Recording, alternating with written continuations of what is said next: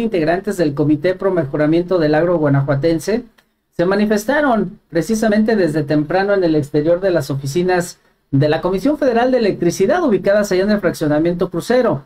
para exigir cobros justos por el consumo precisamente de energía. Hay que decir que una gran parte de este servicio ellos lo utilizan para extraer el agua de los pozos.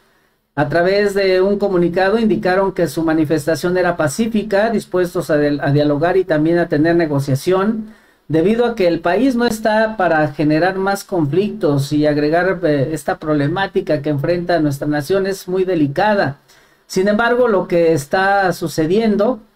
y lo que está en juego, así lo dijeron, es nuestro sustento, la forma en que mantenemos a nuestras familias, nuestro patrimonio, lo vamos a defender a toda costa, sí, lo mencionan a través de este comunicado de prensa. También dijeron los productores que están solicitando una mesa de negociación pública donde estén los representantes de los medios de comunicación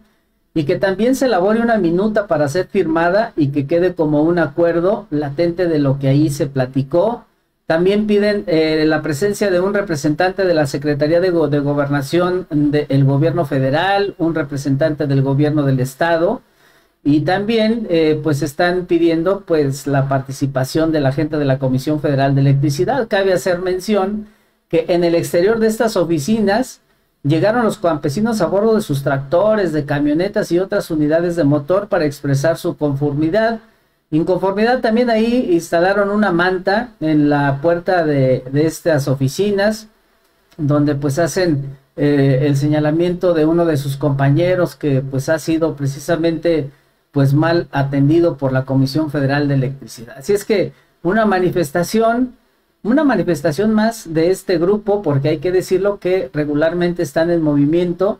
eh, pues esto, esta agrupación de mejoramiento del agro guanajuatense, no solamente en Silao, sino a nivel eh, federal. Y bueno, pues estas son las expresiones que ellos hacen para que no se esté cobrando de más en los recibos por la energía que ellos utilizan en sus actividades allá en, en los ejidos, en las comunidades rurales. Ojalá y que los escuchen y que se atienda esta problemática del sector campesino.